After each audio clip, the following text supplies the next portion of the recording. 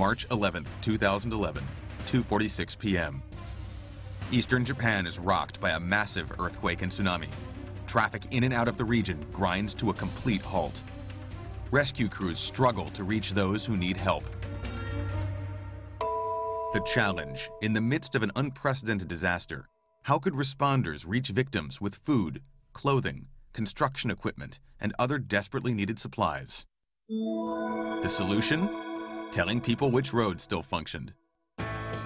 Honda's InterNavi car navigation system analyzes data collected from its 3G network of InterNavi-equipped vehicles to determine the state of the roads in real time.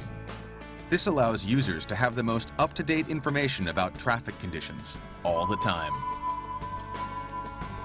In the hours after the earthquake, InterNavi data analysis revealed key information, including which roads had been used since the disaster, which roads had no traffic in the last 24 hours, and which roads remained in continuous, uninterrupted use.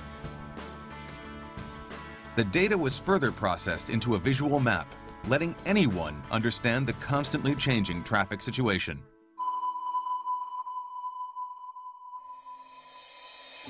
March 12th, 10.30 a.m., just 20 hours after the disaster, Honda became the first to release its road data in open source format on the web. The data spread widely thanks to Honda's Twitter account, homepage, and reports on a variety of media, letting residents and responders in and out of affected areas more easily. Information about the roadways that connect all of us together spread from person to person in the blink of an eye. InterNavi data played a key role in helping Google launch the Google Crisis Response page. The InterNavi data provided Google users with relevant, up-to-date information that greatly helped during the crisis. Later that year, at the Tokyo Motor Show and other events, Honda showed what a key role roads play in helping residents rebuild and recover.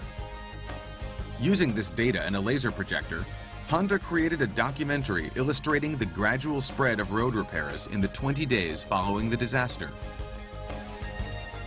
Each point of light represents the motion of an individual and was combined with the tweets of those who were helped by their information. InterNavi's real-time data collection and distribution proved so useful to so many in Japan during the disaster that subscriptions leapt after the quake. Usage rates increased dramatically as well, flexible and responsive. That's the power of InterNavi.